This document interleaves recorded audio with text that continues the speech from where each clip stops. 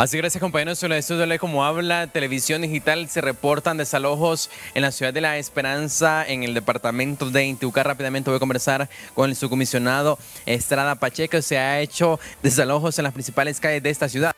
Así es Charlie, buen día. Hoy tuvimos más de una hora eh, trabajando en un desalojo eh, que está de forma violenta por parte de unos muchachos encapuchados en la arteria que conduce La Esperanza a Ciguatepeque.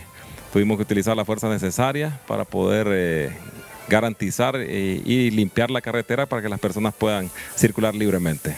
También a base de ese desalojo también fue capturado un menor de edad. Sí, tenemos un menor infractor, ¿verdad? Que ha sido eh, traído aquí a las instalaciones que se supone responsable de la quiebra de un vidrio de un ciudadano que, venía circulando por ahí.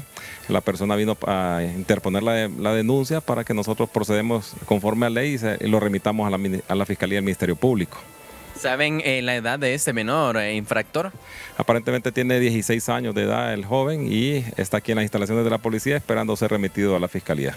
Eh, ¿Qué procede con este menor detenido? ¿Cómo pudieron comprobar que él fue el supuesto que, quebró este vidrio de este vehículo? Como le repito, hay una persona denunciante, ¿verdad? Un perjudicado que él es el encargado de identificar si fue esta la persona que, que ocasionó el daño. ¿Se le respetaron los derechos humanos a este menor de edad? Claro, nosotros somos responsables de garantizarle el respeto a las personas.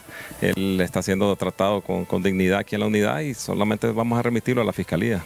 ¿Ya se hicieron presente hasta el momento los derechos humanos a esta jefatura? Sí, han estado viniendo, incluso familiares también, y están siendo atendidos. Nosotros nada más estamos cumpliendo con la ley, ¿verdad? Hay, como lo repito, una persona que está denunciando y tenemos que acatar esa denuncia. Excelente, muchas gracias. Bueno, fueron las palabras del subcomisionado Estrada Pacheco en este desalojo que han realizado en las principales calles de la ciudad de La Esperanza en este departamento de Intibucá, donde han detenido a un menor infractor exactamente a cercanías de los semáforos de esta ciudad de La Esperanza. Ya fue trasladado lo que es a la base de la policía en el departamento de Intibucá. Ya las autoridades harán lo correspondiente a ley. Con eso informe a esta hora rápidamente. Retornos principales de Hable como Habla, Televisión Digital.